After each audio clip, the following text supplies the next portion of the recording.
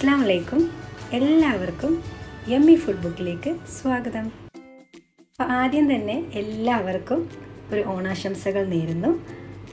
എല്ലാവരും സേഫായിട്ടും ഹാപ്പി ആയിട്ടും വീട്ടിലെ സദ്യയൊക്കെ ഒരുക്കി ഓണം സെലിബ്രേറ്റ് ചെയ്യുന്നതെന്ന് വിചാരിക്കുന്നു. ഇന്നത്തെ ഓണം സ്പെഷ്യൽ റെസിപ്പി ഒന്നുമല്ല. വീഡിയോ കണ്ടാൽ തന്നെ അറിയാം. നല്ല വെറൈറ്റി ആയിട്ടുള്ള ഒരു crab റോസ്റ്റാണ്. Butter garlic crab roast. നല്ല ടേസ്റ്റിയാണ്. ഈസി ആയിട്ട് ചെയ്തെടുക്കാൻ പറ്റുന്ന ഒരു നല്ല ഡിഷാണിത്. അപ്പോൾ ഈ റെസിപ്പി എങ്ങനെ തയ്യാറാക്കാൻ നോക്കാം. അപ്പോൾ വീഡിയോ സ്കിപ്പ് ചെയ്യാതെ മുഴുവൻ കണ്ടേക്കണേ. അപ്പോൾ നമ്മുടെ വീഡിയോ ആദ്യമായിട്ട് കാണുന്നവരാണെങ്കിൽ മറക്കാതെ ഒന്ന് സബ്സ്ക്രൈബ് ചെയ്തേക്കണേ. തൊട്ടടുത്തുള്ള ബെല്ലൈക്കണും കൂടി ക്ലിക്ക് ചെയ്യാൻ മറക്കരുത്. പിന്നെ വീഡിയോസൊക്കെ ഇഷ്ടപ്പെട്ടാൽ ലൈക്ക് ചെയ്യാനും ഷെയർ ചെയ്യാനും കമന്റ് ചെയ്യാനും മറക്കരുത്. അപ്പോൾ നമ്മുടെ റെസിപ്പി എങ്ങനെ തയ്യാറാക്കാൻ നോക്കാം. അപ്പോൾ അതിനായി ഇവിടെ ഞാൻ നല്ല ക്ലീനാക്കിയ കുറച്ച് ക്രാബ് എടുത്തു വെച്ചിട്ടുണ്ട്. നമ്മളെ മെയിൻ ഇൻഗ്രീഡിയന്റ് പിന്നെ വേണ്ടത് ഒരു അര കപ്പ് ചോപ്പ് ചെയ്ത വെളുത്തുള്ളിയാണ് ഗാർലിക് പിന്നെ രണ്ട് ടേബിൾ സ്പൂൺ ചെറിയ ഉള്ളി ഒരു മീഡിയം സൈസ് സവാള പിന്നെ കറി ലീവ്സ് പിന്നെ അര കപ്പ് ബട്ടർ ഒലീവ് ഓയിൽ ഈ ഒരു സോസ് പാന് ഒരു ലോ ടു മീഡിയം ഹീറ്റ് ഫ്ലെയിമിൽ ഓൺ ആക്കിയിട്ട് ബട്ടർ ഒഴിച്ചു കൊടുക്കുക. ഇനി അതിലേക്ക് ഒരു ടേബിൾ സ്പൂൺ ഒലീവ് ഓയിൽ ചേർത്ത് കൊടുക്കുക. നിങ്ങളുടെ കയ്യിൽ ഒലിവ് ഓയിൽ ഇല്ലെങ്കിൽ സൺഫ്ലവർ ഓയിലും ചേർത്ത് കൊടുക്കാവുന്നതാണ്. പിന്നെ കറി ലീവ്സും ആഡ് ചെയ്യുക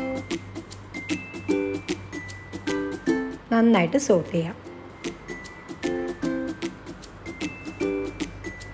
ഇനി ബട്ടർ ഒന്ന് മെൽറ്റായി വരുമ്പോൾ ചോപ്പ് ചെയ്തിട്ടുള്ള വെളുത്തുള്ളി ആഡ് ചെയ്ത് കൊടുക്കുക.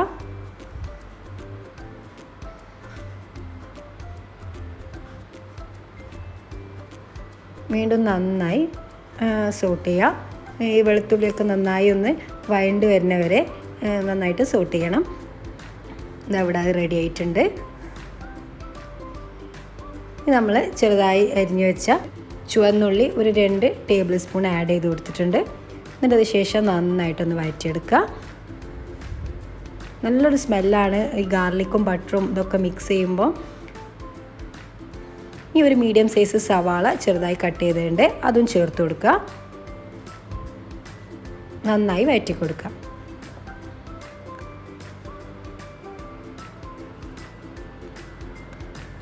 ലോ ടു മീഡിയം ഹീറ്റിൽ തന്നെ വെച്ചാൽ മതി. ഫ്ലെയിം കുറച്ച് ഉപ്പും കൂടി ചേർത്ത് കൊടുക്കുന്നത് നല്ലതായിരിക്കും. പെട്ടെന്ന് വയന്റെ കിട്ടാൻ. ഇനി ഇതിലേക്ക് രണ്ട് ടീസ്പൂൺ കാശ്മീരി ചില്ലി പൗഡറാണ് യൂസ് ചെയ്യുന്നത്. അതിനുശേഷം നന്നായിട്ട് മിക്സ് ചെയ്യുക.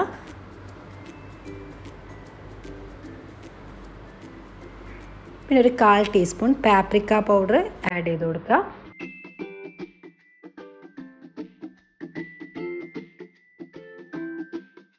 പിന്നെ ഒരു കാൽ ടീസ്പൂൺ കുരുമുളക് പൊടി. ഇത് ഓവർ എരിവൊന്നും ഇതിന് ആവശ്യമില്ല.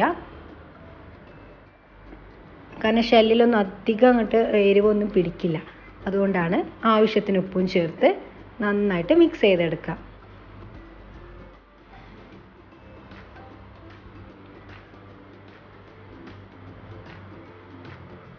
ഈ മസാലയൊക്കെ നന്നായിട്ട് ഇവിടെ റെഡിയായി വന്നിട്ടുണ്ട്. ഇനി ക്ലീൻ ചെയ്ത് വെച്ച ക്രാബ് ആഡ് ചെയ്ത് കൊടുക്കുക.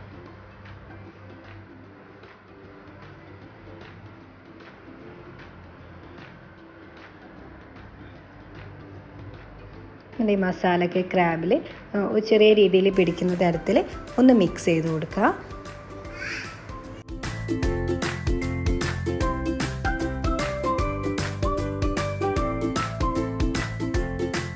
എന്നിട്ട് വെള്ളമൊന്നും ചേർക്കാതെ ഒരു മൂന്ന് മിനിറ്റ് മീഡിയം ഫ്ലെയിമിൽ വേവിച്ചെടുക്കാം. മൂന്ന് മിനിറ്റിന് ശേഷം നമ്മളൊന്ന് തുറന്നിട്ട് നോക്കുമ്പോൾ അതാ ചെറിയ രീതിയിൽ ഇത് വെന്ത് കിട്ടിയിട്ടുണ്ട്. ഇനി അടുത്തത് വെള്ളം ചേർത്തൊന്ന് വേവിക്കണം. അതിന് വേണ്ടി ഞാനിവിടെ ഒരു കപ്പ് വെള്ളം ആഡ് ചെയ്ത് കൊടുത്തിട്ട് വീണ്ടും തീ കുറച്ചൊന്ന് കുറച്ച് വെച്ചിട്ട് വേവിച്ചെടുക്കുകയാണ്. ഒരു പതിനഞ്ച് മിനിറ്റോളം വേവിച്ചെടുക്കുന്നുണ്ട്. പിന്നെ ഗ്രേവി ഒന്ന് കട്ടി കൂടാൻ വേണ്ടിയിട്ട് കുറച്ച് കോൺഫ്ലോറിന്റെ വാട്ടർ ആഡ് ചെയ്ത് കൊടുക്കുന്നുണ്ട്. കൂടെ കുറച്ച് മല്ലിയിലയും കൂടി ചേർത്ത് കൊടുക്കുന്നുണ്ട്. നന്നായിട്ട് മിക്സ് ചെയ്തിട്ട് വീണ്ടും ഒരു ഏഴ് മിനിറ്റ് വേവിച്ചെടുക്കാം. ഇവിടെ നല്ല രീതിയിൽ ഇത് വെന്ത് കിട്ടിയിട്ടുണ്ട്. നല്ല ഗ്രേവിയൊക്കെ നല്ല അത്യാവശ്യം കട്ടിയായി വന്നിട്ടുണ്ട്. ലോ ഹീറ്റിൽ തന്നെ വേണം ആ ഏഴ് മിനിറ്റ് വേവിച്ചെടുക്കാൻ വേണ്ടിയിട്ട്. ഇനി ഇത് നമുക്ക് നല്ലൊരു സെർവിങ് പോട്ടിലേക്കോ ട്രേയിലേക്കോ സെർവ് ചെയ്യാം. നല്ല അടിപൊളി ടേസ്റ്റി ആയിട്ടുള്ളൊരു ഡിഷാണിത് എല്ലാവരും ഇത് ട്രൈ ചെയ്ത് നോക്കണം. ഞാനിത് ചപ്പാത്തിയുടെ കൂടെയാണ് സെർവ് ചെയ്തത്. നല്ല ടേസ്റ്റി ആയിട്ടൊരു സംഭവമാണ്. ബട്ടറും ഗാർലിക്കും ഒക്കെ നല്ല മിക്സ് ചെയ്തിട്ട് ഈ ക്രാബിൽ പിടിക്കുമ്പോൾ നല്ലൊരു ഫ്ലേവറാണ് ഇതിന്. അപ്പോൾ എല്ലാവർക്കും ഈ വീഡിയോ ഇഷ്ടമായെന്ന് വിചാരിക്കുന്നു. എല്ലാവരും ഇത് ട്രൈ ചെയ്യാം. അപ്പോൾ വീഡിയോസൊക്കെ ഇഷ്ടപ്പെട്ടാൽ ലൈക്ക് ചെയ്യാനും ഷെയർ ചെയ്യാനും കമന്റ് ചെയ്യാനും സബ്സ്ക്രൈബ് ചെയ്യാനും മറക്കരുത്. പുതിയ റെസിപ്പി ആയിട്ട് പിന്നെ കാണാം. താങ്ക്സ് ഫോർ വാച്ചിങ് അസ്സാം വലൈക്കും